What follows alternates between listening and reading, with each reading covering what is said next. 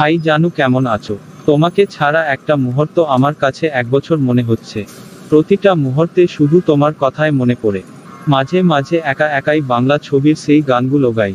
কি জাদু করেছ বলো না, ঘরে আর থাকা তো হলো না, এমন একটা দিন নাই, এমন একটা রাত নাই, তোমায় নিয়ে ভাবে না এই মন, তুমি আমার সুখেরই শ্রাবণ। তোমার কি মনে হয় আমি খুব সুখে আছি? তোমাকে দেখার জন্য ব্যাকুল হয়ে আছি। তাই তো তোমাকে একটু দেখার জন্য তোমার ফোন পেয়ে চলে আসলাম। চলো মজনু, আমরা পার্কে গিয়ে বসি। আর শোনো, আম্মু বলেছে তাড়াতাড়ি বাসায় ফিরতে হবে।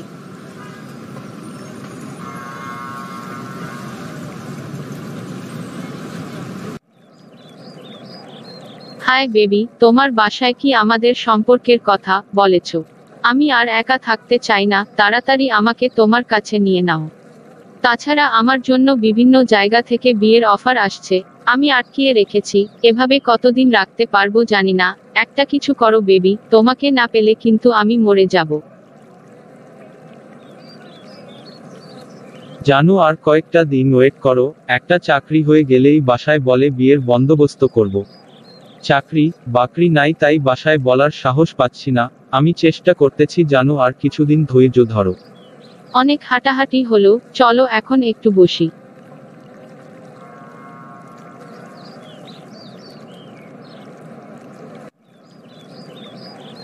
জানু তোমার কি মনে আছে সেই দিনটির কথা যেই দিন আমি তোমাকে প্রপোজ করেছিলাম। হুম বেবি সব মনে আছে। আমাদের কুমিল্লার এই ম্যাজিক প্যারাডাইস পার্কের এই টেবিলে বসেই তুমি আমাকে প্রপোজ করেছিলে। এইটা আমার স্মরণীয় দিন। ওই মুহূর্তটা আমি কখনো ভুলবো না বেবি। বেবি আমি প্ল্যান করেছি আমাদের বিয়েতে সিলেটের ওই নয়া দামান গানটা গাইবো। ওকে জানু তাহলে এখন থেকেই রিহের শাল শুরু করো। ওকে বেবি চলো এখন উঠি। দেরি করলে আম্মু বকা দিবে। ওকে সিলেটের নয়া দামান গানটা প্র্যাকটিস করার এখনই উপযুক্ত সময়। আইলা রে নয়া দামান আসমানের তেরা বিছানা বিছাইয়া দিলাম শাইল ধানের নেড়া